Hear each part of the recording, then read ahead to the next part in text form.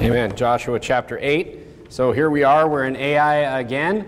So, um, of course, um, Joshua chapter 7, um, we had the problem where um, someone um, did not follow God's commands and did not do things the way God wanted them to be done when they um, sacked Jericho and uh, they kept, you know, some of the things that they weren't supposed to keep. They stole some of the things that they were supposed to give to the Lord. And uh, they now, in Joshua chapter 7, they went to Ai under those conditions and they lost the first battle um, with Ai, and everyone was, you know, worried. God told them what the problem was.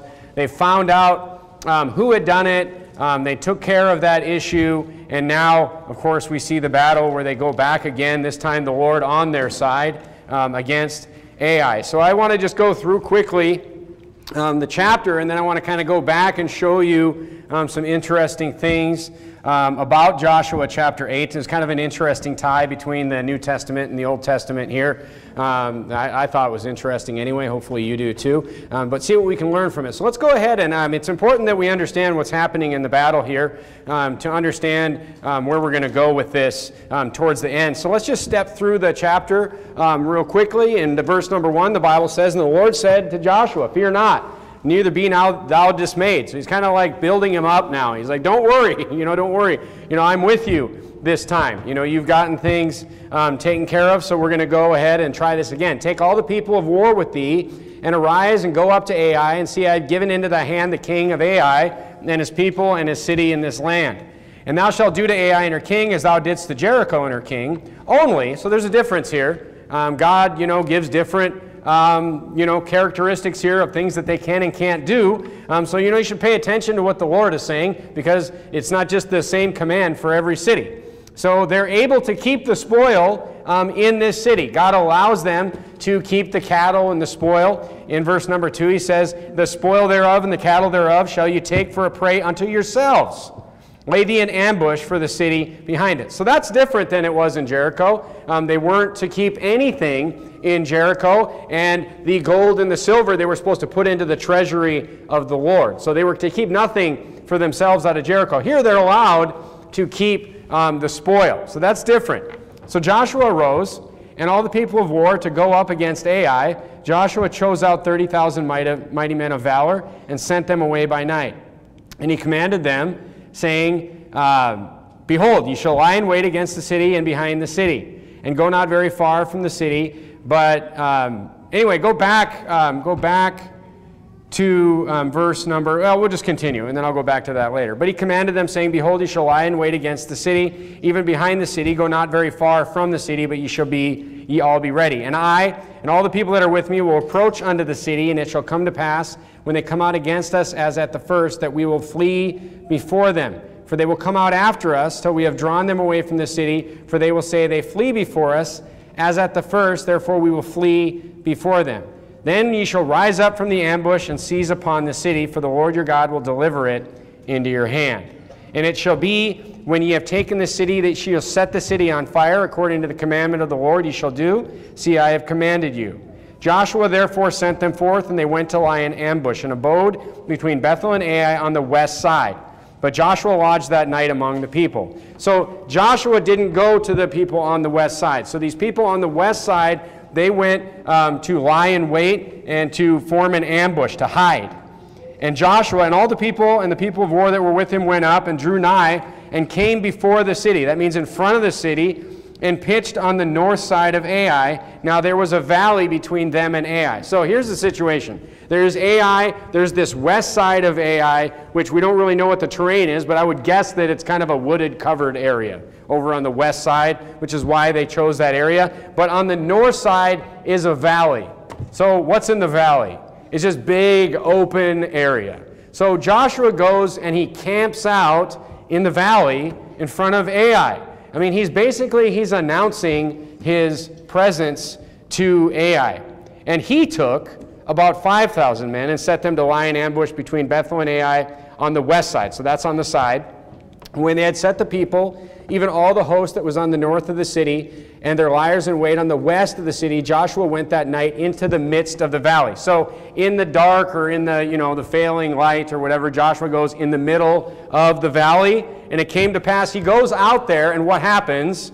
the king of Ai saw it. So he goes out to basically make himself seen to the king of Ai in the valley. And of course, they hasted up and rose up early. The men of the city went out against Israel to battle. And it's interesting that it's at, you know, it's, it's either completely dark or it's not light out. And it's, but he's in the valley. He's seen. He's able to be seen. He's got his whole army out there. But he's got his real people in ambush on the west that are not seen. Okay? So, I mean, they couldn't see because it was, it was dark, it wasn't light, and they were in this valley. Okay? So Joshua, verse 15, and all Israel made as if they were beaten before them and fled by the way of the wilderness. And all the people of Ai were called together to pursue after them, and they pursued after Joshua and were drawn away from the city. And there was not a man left in Ai or Bethel. So these folks went, for, they went for it. Okay? So basically, they had retreated before because they had been beaten in Joshua chapter 7. They had been beaten when they lost the battle, the first battle that they went up against Ai. So here, they see this big army out there and they start running right away. And this king, you can about imagine, he's like, let's just finish this thing off right now. And he sends everything that he has after these people. There's many stories about this same type of mistake, by the way in uh, military history. It, you know, if you just you don't have to read too many too many battle stories to see that you know this kind of thing has been used again and again and again. All right, verse 18. And the Lord said unto Joshua. So just keep a you know an idea here in verse 18 that the Lord is directing this battle. Okay, the Lord is directing what happens in this battle. Okay, the Lord is directing the battle. The Lord said unto Joshua, Okay, the Lord didn't fight for Joshua. The Lord said unto Joshua, Stretch out the spear that is in thy hand toward Ai, for I will give it in thy hand. And Joshua stretched out the spear that he had in his hand toward the city. And the ambush arose quickly out of their place, and they ran as soon as he had stretched out his hand. And they entered into the city and took it, and hasted and set the city on fire. And when the men of Ai looked behind them, they saw, and behold, the smoke of the city ascended up to heaven, and they had no power to flee this way or that way. So now they're stuck. They're outside the gates, and the ambush has snuck around inside the city, and they start the city on fire to signal to the other army, we're in, we're inside. You know, the, the, it, you don't have to act anymore. You know, it's time to fight now. So basically, the men of Ai they have nowhere to go. They have nowhere to go at this point. They're stuck outside their city. Their city's on fire with the enemy inside it already, and they have this huge army in front of them that isn't really fleeing. They, they're about to learn. Okay?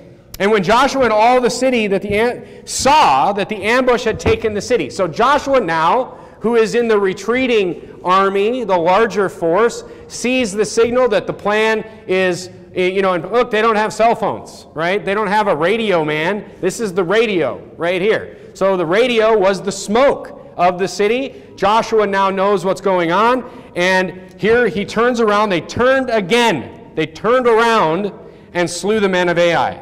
Verse 22.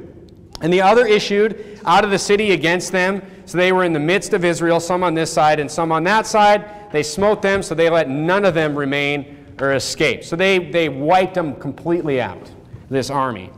And the king of Ai they took alive and brought him to Joshua. And it came to pass when Israel had made an end of slaying all the inhabitants of Ai in the field, in the wilderness where they chased them, and all were fallen at the edge of the sword until they were consumed, that all the Israelites returned to Ai and smote it with the edge of the sword. So they went into Ai and killed everyone in Ai. Okay? And so it was all that fell that day, both men and women, were 12,000, even all the men of Ai. So, I mean, it wasn't a huge city as we would think of a, a city today, but 12,000 people were killed in this city. And that was everybody. First, uh, in Joshua chapter 26, Joshua drew not his hand back wherewith he stretched out the spear until he had utterly destroyed all the inhabitants of Ai. Only the cattle and spoil of the city he took for prey unto themselves. So they did take the cattle and everything with them. And then um, he burnt the city. And then the king of Ai, verse 29, he hanged on a tree until eventide. And as soon as the sun was down, Joshua commanded they take his carcass down from the tree, cast it at the entering in of the city, and raised thereon a great heap of stones that remaineth unto this day. So this is interesting. Turn to Deuteronomy chapter 21. Deuteronomy chapter 21, just a little uh, interesting note here. Um, we remember, of course, Achan. He took, what, what is the condition of these cities? You, know, you think this is pretty brutal. They go in there and they, they, just, they just wipe everybody out in these cities. You know, men, women, and children in these cities. You say, why? Well, look um, at what they did to the king. They hung him on a tree. Well, look what the Bible says in Deuteronomy chapter 21 and verse number 22. Deuteronomy 21 and verse number 22. The Bible says this. It says it's talking about it's talking about somebody who has committed a sin worthy of death, a sin worthy of capital punishment, of the death penalty. The Bible's for the death penalty, by the way. Okay? So, you know, and we're gonna I'll talk to you a little bit about why um, this evening. Okay, why? Why is the, you know, why the death penalty? Why punishment at all? Okay, look, um, if a man have committed a sin worthy of death, and he be put to death, and thou hang him on a tree. It says, if Deuteronomy is giving you the law here, is if you if you if you execute somebody by hanging, Execute somebody by hanging, his body shall not remain all night upon the tree, but thou shalt in any wise bury him that day. And then in parentheses, look at this. So there is a extra, look, it's extra bad to get hung. Okay, if you're going to get executed, if someone's going to execute me, hey, shoot me. You know, firing squad, please. Or, or whatever, you know. Maybe not the electric chair. You know, that's gone bad a few times. But, but it's like, oh, we forgot to get the sponge wet or something like that, you know, ah, you know, just, anyway, not part of the sermon. Um, anyway, I mean, that, that was like some demented electrical engineer had to come up with that, right? Anyway, um, hanging is an extra, it, it's a curse to be hung. Okay, so it's not only that you're being executed, but it's, it's literally a curse, the Bible says. So it says here, um, for every, for he that is hanged is what? It says, accursed of God. Now, what was the condition of the people in these cities? What was the condition of the people in these cities? What was the condition of everything, as a matter of fact, in these cities? Everything that was to be destroyed was under what condition? It was accursed of God. That's what Achan's problem was, was he took of the accursed thing. Okay, it wasn't like some special weird thing. That was it was everything. Everything in the city, the people, the stuff, everything was accursed. The Bible says, except for the gold and silver, which he just plain stole from God. So this king was accursed. That's why he was hung. That's why Joshua hung him, because he was accursed of God, just like Achan took of something that was accursed of God. It's the condition. So you say, well, it's pretty brutal what they did to these cities. These cities were accursed of God. Every single person was accursed of God in these cities. Okay, that was the condition that they were in. Okay, now go to Galatians chapter 3 and verse 13, just very quickly, um, and we'll see one other thing um, about this. Galatians chapter 3 and verse number 13. Galatians chapter 3 and verse number 13. So, back, you know, just finishing off this idea of being hung or being hung on a tree. The Bible says in Galatians 3:13, are you there? Christ hath redeemed us from the curse of the law. So look, before we were saved, before we were redeemed by Christ, we were we were under a curse as well.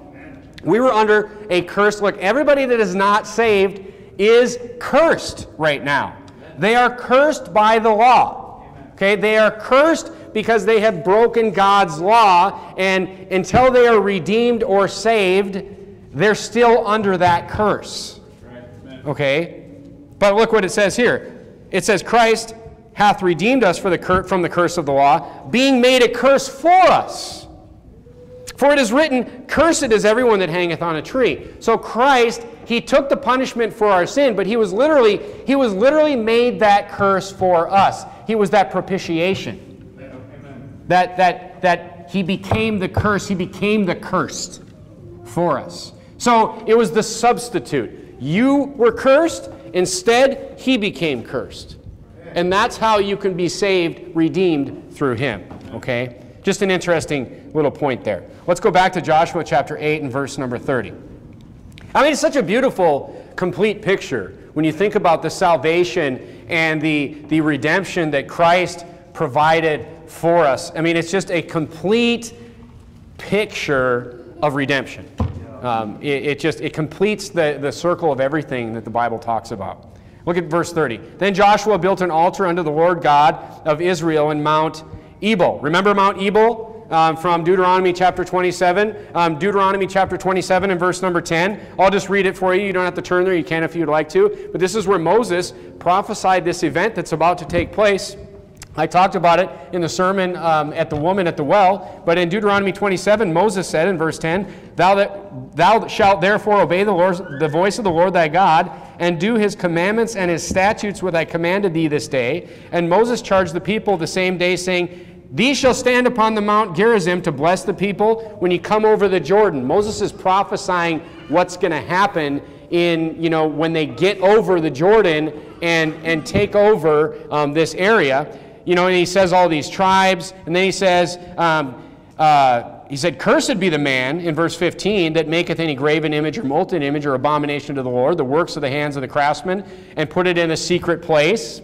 Interesting. And all the people shall answer and say, Amen. Cursed be he that setteth the light by his father and mother. And all the people should say, Amen. And that was the people that stood on Mount Ebal to curse. So Mount Gerizim got the blessings, and then six tribes stand on Mount Ebal um, to curse. Look, in, in, in this area, look, these battles are not over. There's plenty to curse still.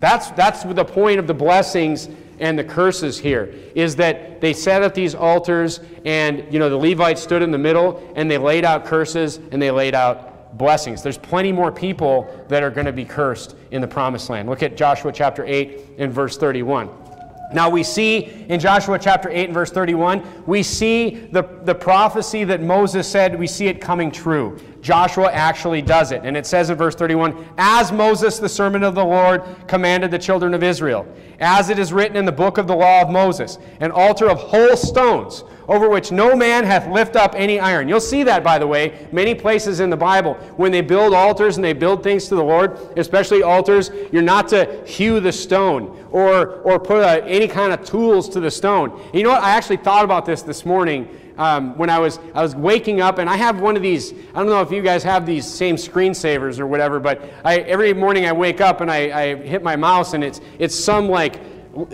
beautiful landscape somewhere on earth. You know, and this morning it was someplace, and, and then if you go up to the top right corner of your computer screen, it tells you where it's at. Because you look at it and you're like, oh man, I'd love to go there. And then you look at where it's at, and it's like in you know Zimbabwe or something. You're like, yeah, I'm not going there. You know. But anyway, um, this morning I, I, did it, and it was like this big, uh, you know, no offense to people from Zimbabwe, but you know, I don't know. I just it just came to my mind. Anyway, uh, this morning it was some place in Utah. And it was like all these these rocks, you know, that, that just had all these you know these red rocks and yellow rocks with all these different patterns on them and holes through them and these big flat rocks sitting over there. I mean, you're like, this is like a different planet. You know, this is not real, you know? And, and you're looking at it, but here's the thing like, God did that. You know, God did that. So, I mean, I kind of look at like why God didn't want us hewing these rocks because it's kind of like someone taking like a like a, a, a famous painting and then like painting over the top of it right? It's like, it's like if, if my wife would have had painting day with the kids and instead of using like, you know, blank white paint, you know, canvases, they would have used like, you know, million dollar paintings from some, I'm not even going to mention a painter because they're all wicked. I mean, you know, they're all evil people. But I mean, if we just take some some beautiful painting from some really talented painter, and then we would just make our painting over it. We'd have our Joel Osteen drawing contest over the top of these really expensive paintings. That's like us, like hewing rocks, right? I mean, God's already created these beautiful things. He's like, you know what? Just uh, that's just my opinion on this, but um, just a thought that I had this morning. But anyway, so he builds these altars after doing this in verse 30, uh, 32 and then he writes um, he writes a copy of the law of moses and in verse 33 it says and all israel and their elders and officers and judges stood on this side of the ark and that side before the priests and the levites would bear the ark of the covenant of the lord as well as the stranger and he that was born amongst them half of them over on mount gerizim for the blessings and half of them over against mount ebal as moses the servant of the lord had commanded before thee that they should bless the people of Israel. And then they're cursing. Look, they're cursing the other people. And afterward he read all the words of the law, the blessings and the cursings, according to all that is written in the book of the law. And there was not a word of all that Moses commanded, which Joshua read not before the congregation of Israel, with the women and the little ones and the strangers that were con- conversant among them. So, I mean, basically, I mean, that's another good just example of how, you know, there's, there's, bless- there's blessings and cursings in the Bible. I mean, the problem, you know, you'll see today is people just talk about the blessings all the time. People never talk about the negative. There's a lot of cursings in the Bible. There's actually a lot of consequences and there's a lot of bad things and there's a lot of wrath in the Bible, even against saved people. Even against, you know, saved people, like, hey, you know, I'm saved now, but look, if I do things a certain way, I could bring God's anger and his indignation against myself. So, I mean, people leave that out today. You know, and that's what you see um, in churches today, and that's why churches, you know, they, they get so many people in because it's just blessing, blessing, blessing. But what about, you know, what about Mount Ebal? You know, what about the other mountain? There's blessings and cursings. Okay? So we see the strategy here, and what I really want to point out, I want to make a few observations of Joshua chapter 8, and then I want to kind of give you some thoughts on applying that to your life. But first of all, you know, we see here, God is kind of a strategist we see in Joshua chapter 8. You know, God is a strategist. Notice here, but I mean, he's basically he's basically the military commander of the Israelites. He's basically the military commander. I mean, he provides the strategy here, but it's interesting because as God provides the strategy, he expected them to take ownership of the plan. You know, God, I mean, he expected the Israelites to carry out the actions. It's, look, it's the same thing for us. I mean, think about this for a second. Why didn't God, if He was with them, if He was with them and He had, you know, the Son of God there willing to help with His sword, and why didn't He just, you know, just take care of it? Why didn't He just, I mean, turn to Genesis 19. God has done this before. God has done this. Why didn't He do it? Look at Genesis chapter 19 and look at verse number 24. Genesis chapter 19 and verse number 24. I mean, look what God did here. God just took care of this city. You know, God wanted this city gone, and He made it gone. It's that simple. Look at verse 24 of Genesis 19. Then the Lord rained upon Sodom and Gomorrah brimstone and fire from the Lord out of heaven. Look, God just rained fire from heaven and just destroyed these two cities. And He over and He overthrew those cities, and all the plain and all the inhabitants of the cities, and, and that which grew upon the ground. Look, in Joshua chapter 8, God didn't do this. God did not do this. He gave the tactics. He gave Joshua the commands, the orders. He was, he was, the, he was the general, so to speak. But the people needed to carry out the plan. You see? The same applies to us in our lives. God is not going to execute battles for you. He tells you what to do, and if you do them, you will win. And if not, see chapter 7. That, that's, you know, that's, that's the, the lesson. But here's what's really interesting, okay? Here's what's really interesting. God is such a brilliant strategist. Think about this for a second. He can literally use our defeats to achieve victory. Think about what happened in Joshua chapter 7. In Joshua chapter 7, the children of Israel disobeyed God. They didn't do what he said. God was not with them. The man with the sword was not with them that time. And they lost the battle. Now, to achieve the victory in the second battle, God literally used the fact that they lost the first battle to achieve victory and draw the men out of the gates completely so they would have that complete victory. God used in his strategy to gain victory. Look, but it was, it was this. Go back to verse 14 of Joshua 8. It was that defeat because of Achan's sin that God used to give them victory. But something happened first. Go to Joshua chapter 8 and verse 14. Look, let's look at the, let's look at the victory for a minute first. Joshua chapter 8 and verse 14. And it came to pass when the king of Ai saw it that they hasted and rose up early, and the men of the city went out against Israel to battle, he and all his people, at a time appointed before the plain, but he wist not that there were liars in ambush against him behind the city. It wasn't like that last time. I just went out and beat him last time. There was no ambush last time. And Joshua and all Israel made is that they were beaten before them. This king was like, We've done this before, we got him again. Let's go, everybody. And all the people that were in Ai gathered, were called together to pursue after them, and they pursued after Joshua and were drawn away from the city. God used the fact that they ran once before to lure in the enemy. God used the defeat to strategize in victory, is what he did. Now, here's the application for us how to turn defeat into victory like Joshua did. Like God did for Joshua. How can we turn victory or defeat in our lives into victory? Turn to Romans chapter 8. Turn to Romans chapter 8. Romans chapter 8. Turn to Romans chapter 8. I'm going to wait for you all to get there because I want you to see this. Turn to Romans chapter 8. This is super interesting because this is a super common verse in the Bible. You see it pasted on refrigerators. Nobody really understands it though. Especially people from, you know, you know, the blessings only churches. They don't understand it. They're just like, you know, everything good is always going to happen to me always because I'm me. Look at Romans chapter 8 and verse number 28. We know, and we know that all things work together for good to them that love God to them who are called according to his purpose. This verse is Joshua chapter 8 right here. Joshua chapter 8 is Romans 8:28 played out in a practical situation. You say, I don't understand. I'm going to explain it to you. The mistake that they made was used for the good. Was used for the good to give them victory. Notice, notice, but look, notice it was only used once they got right. It was only for the good once they got right. Look, it says, it says we know that all things work together for the good. It doesn't say some things. It doesn't say there will be some things in your life that I will make to turn out good.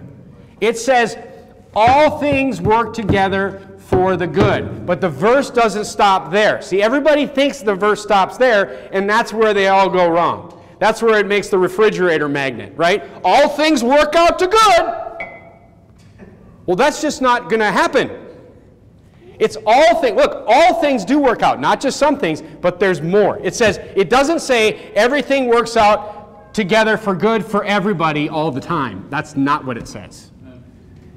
No matter what. Nope, that's not what it says. Look, there are conditions to Romans chapter 8 and verse 28. The step one, step one condition on turning defeat into victory is this. It's getting right. Turn to 1 John chapter 1. 1 John chapter 1. You want to turn defeat into victory in your life. You say, think back in your life. You had any defeats in your life? Think back in your life. You ever had something that didn't go well? How about before you were saved? Have any defeats before you were saved in your life? Want to turn those into victory? That can happen. But first things first. Look at 1 John chapter 1 and verse number 9. The Bible says, if we confess our sins, he is faithful and just to forgive our sins and to cleanse us from all unrighteousness. Now, Catholics and Lutherans and other people that don't understand the Bible say that this is how you get saved. This is why people think you have to confess your sins to get saved. But that's not what it says. It says if you confess your sins, God will forgive your sins. That's what it says. It's talking about getting right with God by confessing your sins. Find your faults and own them, is what the Bible is saying here. Some people, look, some people really stumble here. But look, it's super important. Turn to Matthew chapter 6. This is super important in mending any relationship that you want to be whole. Okay? If you want a relationship in your life to be whole, yes, it's true that we're supposed to forgive one way. We are supposed to forgive one way. Are you in Matthew chapter 6? Look at verse number Matthew chapter 6, look at verse number thir, uh, 14. The Bible says this, it's very simple. For if you forgive men their trespasses, your heavenly Father will also forgive you. But if you forgive not men their trespasses, neither will your Father forgive your trespasses. Not talking about salvation, talking about being right with God. You want to be right with God, you want to have God forgive you and not chastise you for the sins in your life, be forgiving to other people is what the Bible is saying. If you just withhold forgiveness from the people and the brothers and sisters in your life, God's going to just chastise you harder. That's what the Bible is saying here. Right. He's not going to be lenient with you. If you're hard on other people, God's going to be harder on you. Live by the sword, die by the sword.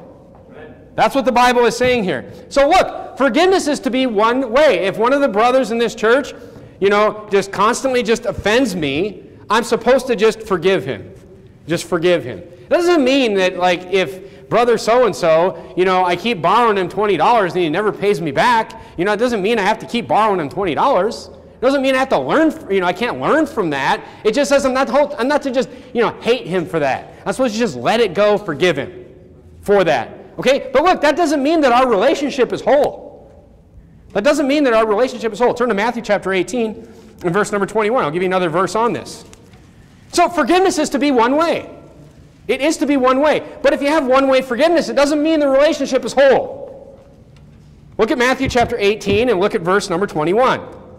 We're talking about getting right as Israel got right. We're talking about how do we get right? I want Romans 8:28 to come true in my life, don't you? So the first thing we have to do, Romans 8:28 is Joshua chapter 8. The first thing we have to do is get right. Look at Matthew chapter 8 and verse 21. The Bible says, Then Peter came to him and said, Lord, how oft shall I bro- my brother sin against me and I forgive him? Like seven times? It's like, how many times should I forgive somebody that keeps doing the same thing to me? And Jesus says, I say not unto thee until seven times, but until 70 times seven. He's like basically, what he means is just, just keep forgiving him. That's what Jesus means.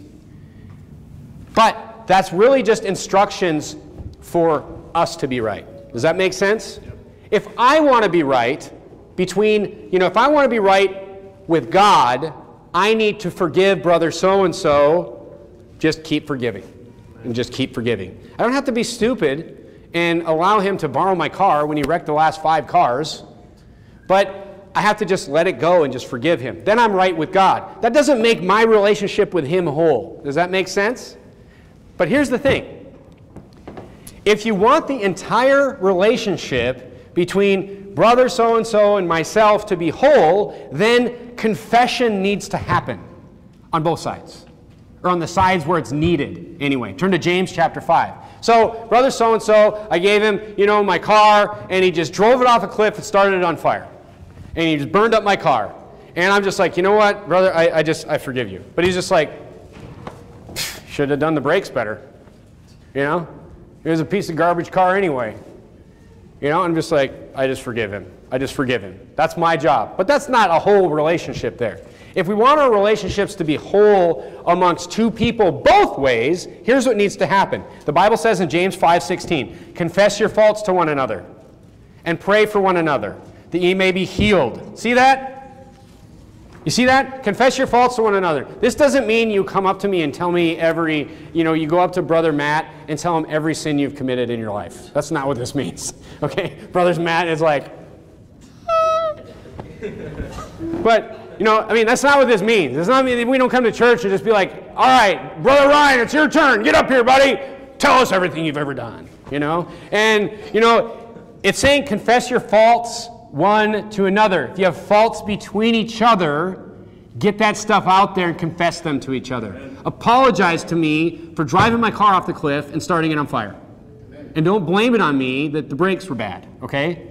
It's saying, and it says that ye. You know what ye means? Here's, here's one of those words again that no one thinks are important. Ye is plural. It says that ye may be healed. That ye, meaning, meaning brother Trevor and brother Johannes, that ye may be healed. That that relationship between those two will be brought whole again. Okay? Confess your faults to one another. Okay? You gotta, you gotta own it. You, you've wronged your brother, you gotta own it. Okay? So if two people have trouble in a relationship, they must, and, may, and many times they may both have faults to confess. Maybe Brother Johannes got mad at Brother Trevor for driving his car off the cliff, and Brother Johannes, you know, went and smashed Brother Trevor's car with a baseball bat. Now they both have faults. So they both need to come together and confess those faults. Okay? Now, go back to Joshua chapter 7. What did Joshua say to Achan? Who did Achan sin against? Look at Joshua chapter 7. Joshua chapter 7 and verse number 19.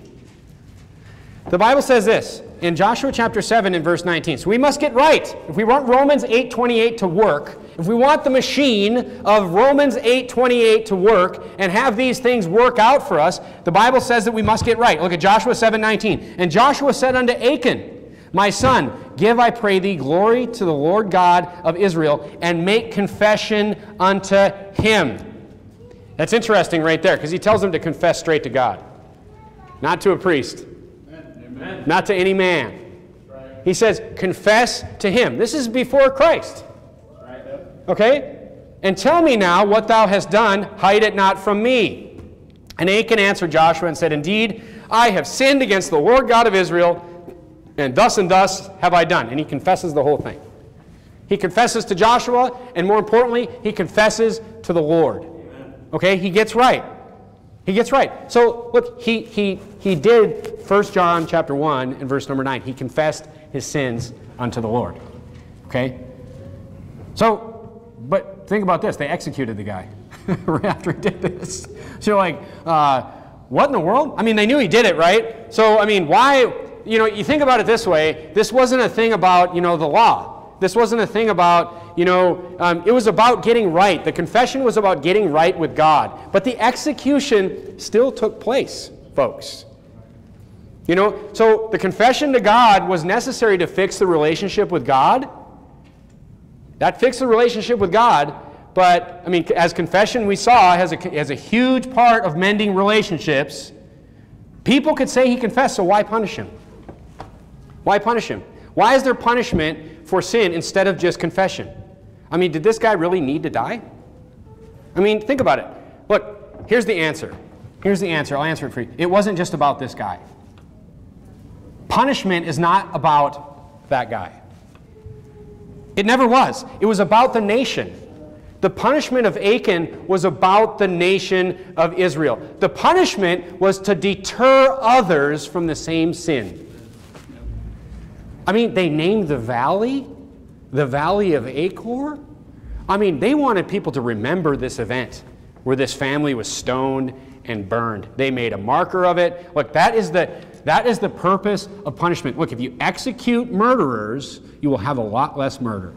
And, and, you wonder why. I mean, look, I'm at Leslie's pool supply the other day.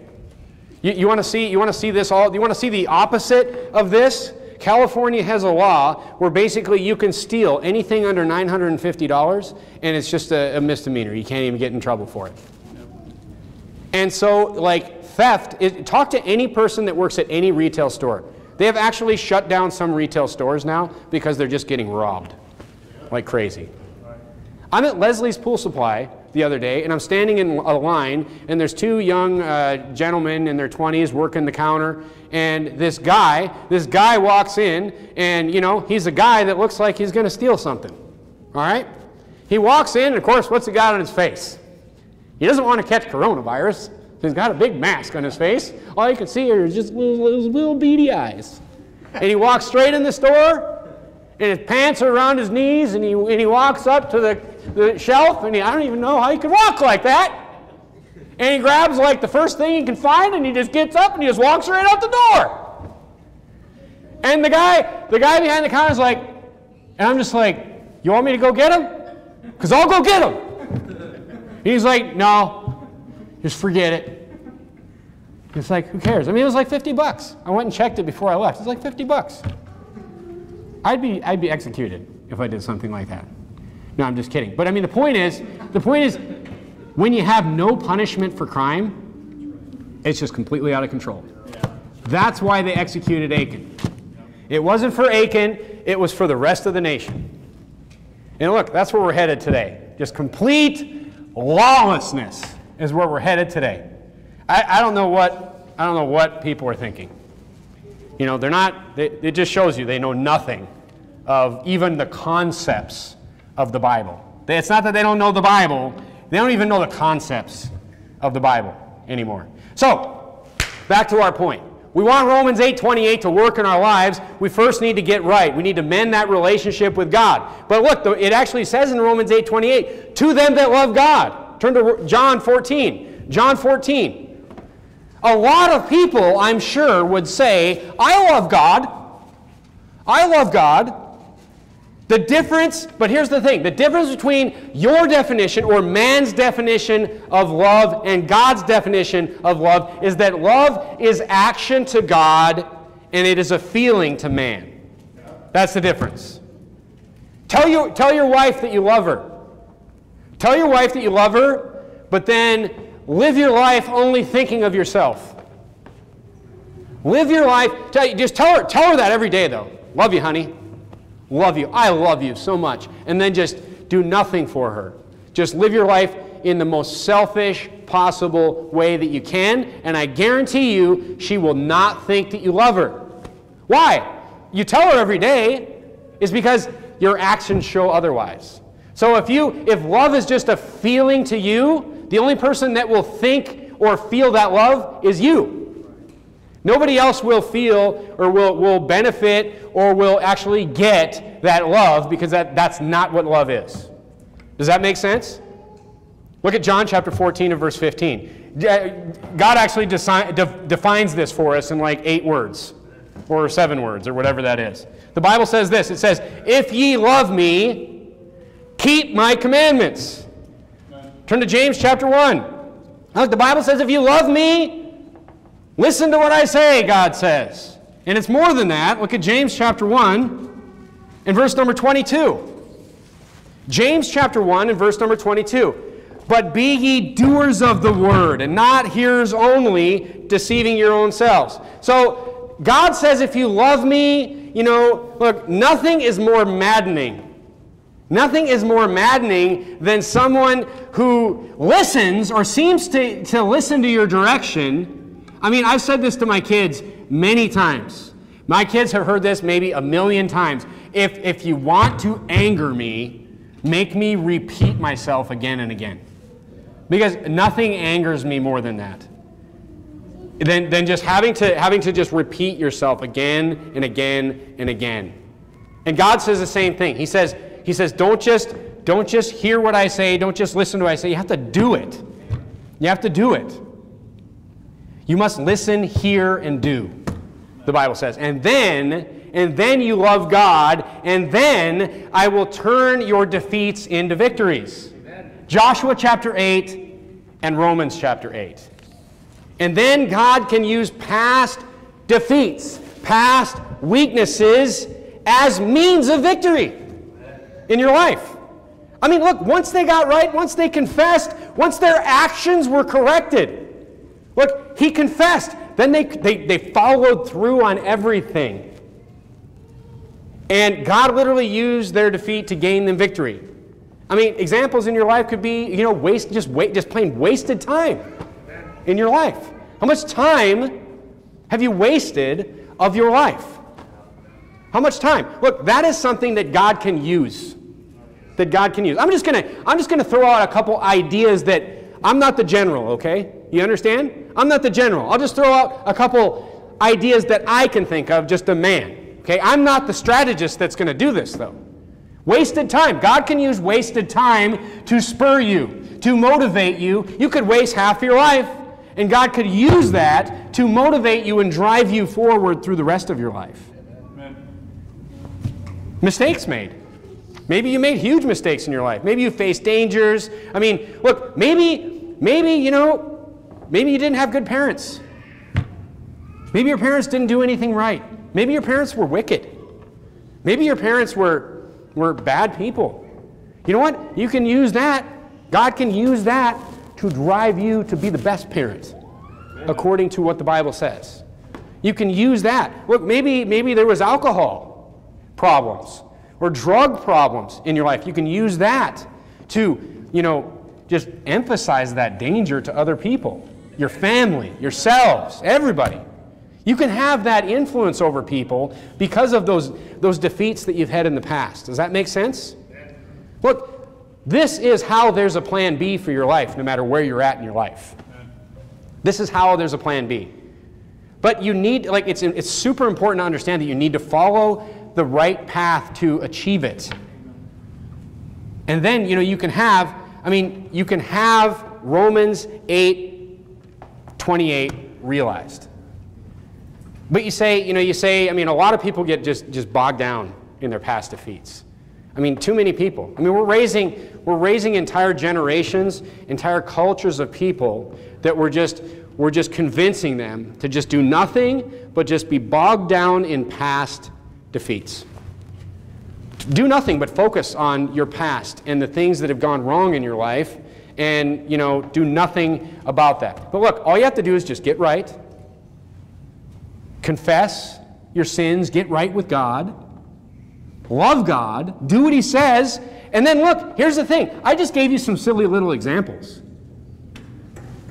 But here's, here's how God can turn anything, here's how God can turn any messed up situation. Think of the most messed up situation you can think of in somebody's life. The reason that God can turn those things into, those defeats into victories, is because He intervenes. You see? God's not just, you know, magic invisible man. God is telling us in Romans 8:28 that if you do these things, He's like all things. He says all things. I don't care how big of a mess it is. I don't care how big of a mess it is. I don't care what you've done. He's like, you get right, and you love me. He's like, I will intervene. Amen. That's what the Bible's saying, and that's exactly what happened in Joshua chapter 8. Right. God intervened, and He took that defeat and made it a victory. He can put strategies together that we, you know, we can't even think of. Right? I mean, his ways are way higher than our ways. He can take anything that you've done, anything that you've been defeated with, you get right, you confess everything, you get right with God, you start doing the right things, and God will step in. I mean, God will step in. I think people, I used to kind of think this way actually. You know, before I was saved, and maybe even a little bit after I was saved, actually used to kind of think this way. That, you know, God doesn't really, it's kind of up to us to drive this bus of our life. You know, I, I, remember I always had this friend growing up. I grew up with this friend in Sunday school from like second grade. And, you know, even when we were in our 20s, he was always talking about, well, the Lord wants me to do this, and the Lord wants me to do this. I'm just like, God talked to you? Is God talking to you? You know, the Lord did this. How do you know God did that? You know, I was kind of a skeptic. But look, if you're saved and you are right with God, and you, I mean, you've gotten right and you are loving God with your life, God will move stuff around for you and you'll see it happening. You will see it work. I, I promise you. I promise you. I don't care how messed up it is. And, and look, look, here's another thing. The more messed up it is, the more you'll see it moving. Joshua chapter 8, Romans 8, 28. Let's bow our heads and have a word.